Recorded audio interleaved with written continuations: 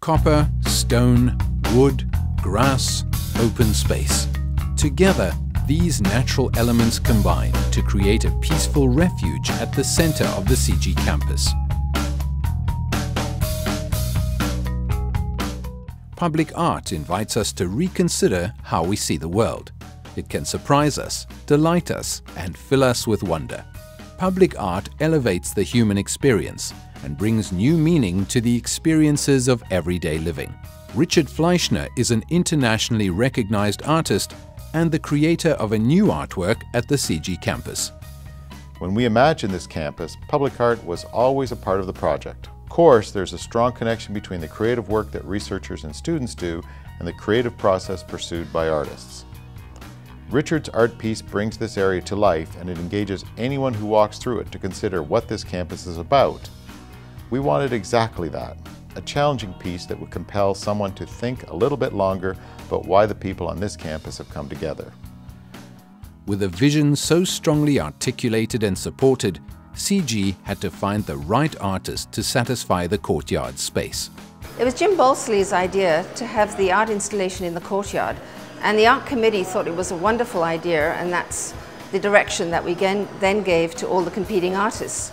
The piece that was selected by Richard Fleischner was um, clearly, uh, from the very start, um, a very, very interesting proposition as its uh, concept was really rooted in what CIGI does. Richard Fleischner is well recognized for his creation of many art installations across the world. His attention to detail, his focus on concepts, and his consideration of the peripheral elements makes this particular work exist vibrantly on the CIGI campus. The built projects, which I've been doing for 45 years, they all respond to the particular place in which they exist. I love sort of an asymmetrical symmetry. I love geometry.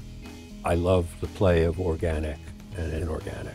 People tend to think of art as something quite decorative. And what I do is it's not about pretty. It's very much a thought-provoking process. Again, it has so much to do with the issues this place wants to address. It's about understanding. What the artist has then done is he has these copper markers distributed through the grass and what they are is they are actually on the points, according to the invisible world map below the whole piece, um, they identify places where um, very, very important issues or events have taken place related to global governance. A number of events have shaped world history and how individuals interact with each other across border and how nation states interact with each other.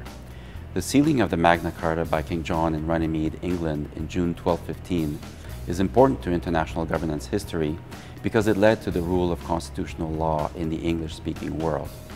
Through this document, the king proclaimed certain liberties and accepted that his will was not arbitrary.